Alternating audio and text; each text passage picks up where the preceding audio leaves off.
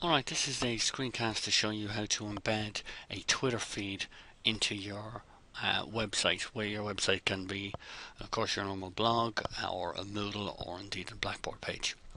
So the first thing you need to do is go to the website tw- uh, twitter.com forward slash goodies forward slash widgets.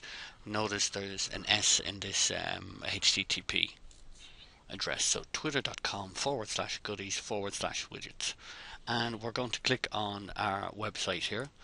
We click on this here and we're greeted with a variety of different options. We can embed all of these different widgets that we like into our uh, website. We're just going to go for the search widget here. So the search query that we'll put in will be, for example, hash ELS 12. Okay, a particular summer school, and what we'll do is type in a title and a caption.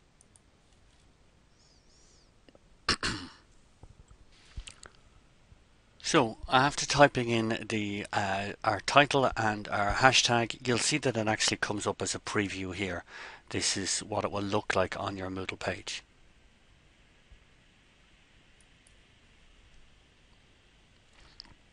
So what we want to do is look at the settings that we have.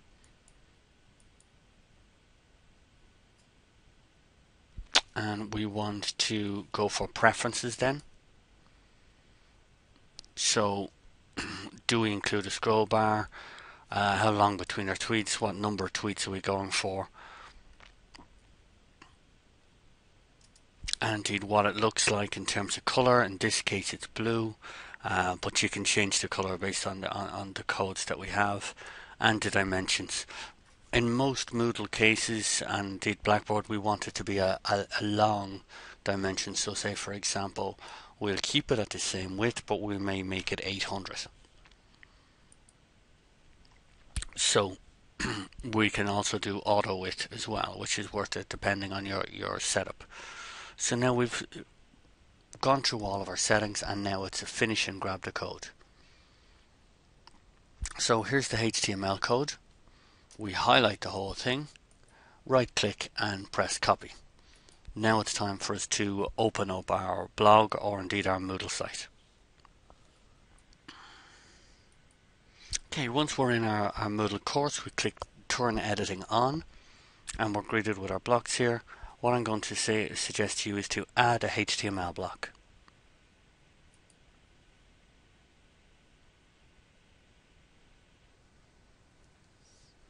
So our HTML block is here. We just click on the edit button to configure. And we and what we do is we come in here and we paste in our script.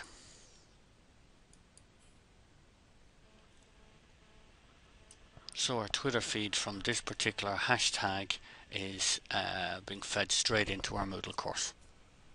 I hope you find this useful.